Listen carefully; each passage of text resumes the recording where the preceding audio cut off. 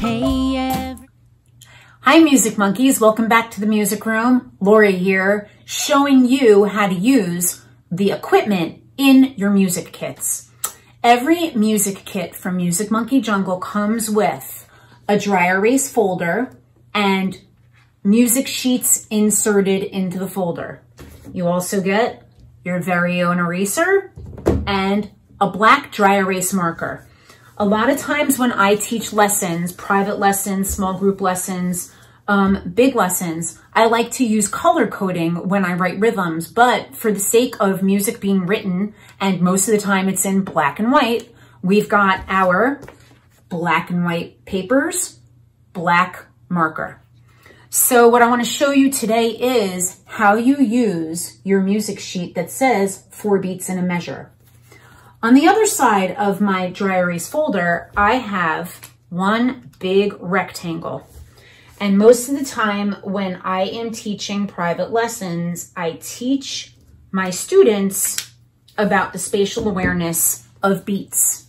I have one big line right here and I always teach everybody to take their finger and make a space as centered as they possibly can. And now we have two lines.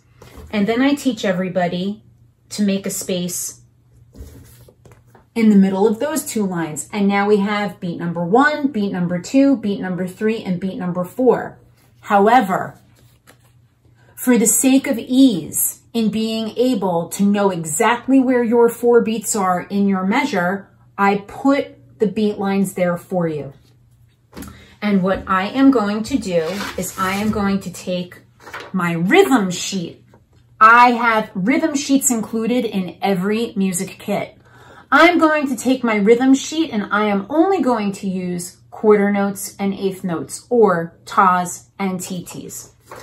I'm going to put my rhythm sheet right near my four beats in a measure and I'm going to take my black marker and I am going to write my rhythm. I would like it to say T T ta T T ta creating a pattern because patterns are something that my friends in preschool, pre-K, kindergarten, first grade, second grade, and third grade work on all the time. And right here you see this TT looks almost exactly like that TT, and this ta looks almost exactly like that ta. If you look really carefully, I didn't place the TTs exactly the same placements on the beat lines. But you know, these things happen. And now when I read it, my rhythm says T-T ta, T-T ta, or eighth, eighth quarter, eighth, eighth quarter. And when you have your rhythm sheet at home and you can write your own rhythms, then you can put them down someplace. You can look at your four beats and you can say, I'm going to clap it all. And it sounds like this. T-T ta, T-T ta. Or I'm going to pat it all. T-T ta, T-T ta. Or I'm going to pat and clap.